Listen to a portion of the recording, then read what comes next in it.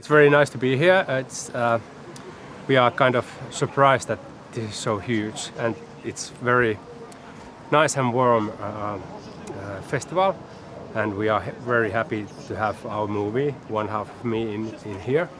And uh, we have lots of uh, uh, expectation for meeting lots of new cool filmmakers also in this, this festival. Our film is One Half of Me.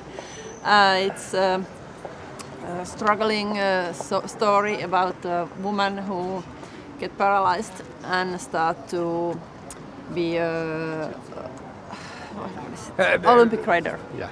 Para rider.